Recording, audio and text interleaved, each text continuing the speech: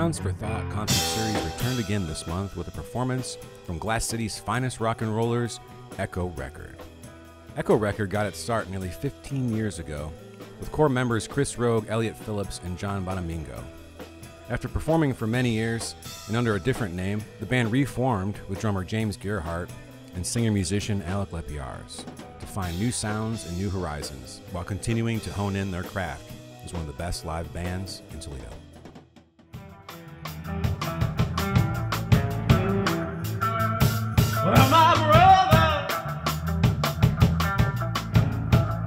He sat me right down and he talked to me.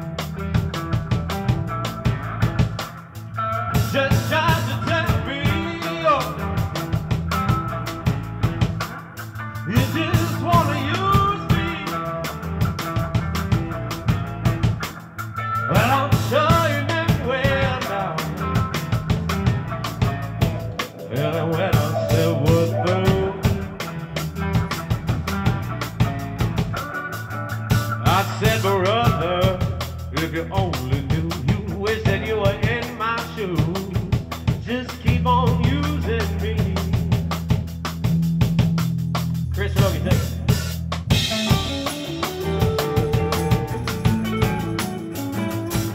been hard at work over the last year, and we're excited to announce the release of their new self titled EP that was recorded at Bigfoot Studios in Waterville. The album releases March 29th, and the band will be performing a collection of those songs March 30th at the Switchboard in downtown Toledo.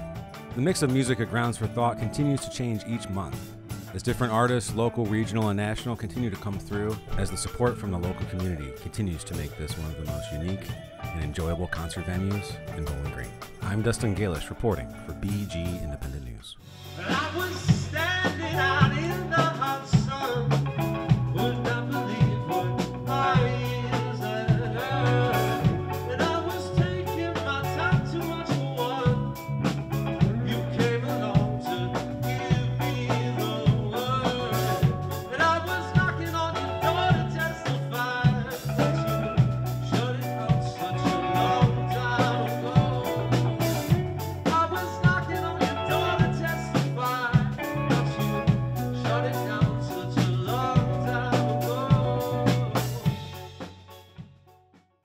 BG Independent News is made possible with support from people like you. Help keep news in Bowling Green free and accessible to everyone by becoming a contributor today. Visit bgindependentmedia.org/support to help Bowling Green's best source for local news, arts coverage, reviews, opinions, campus information, and community updates.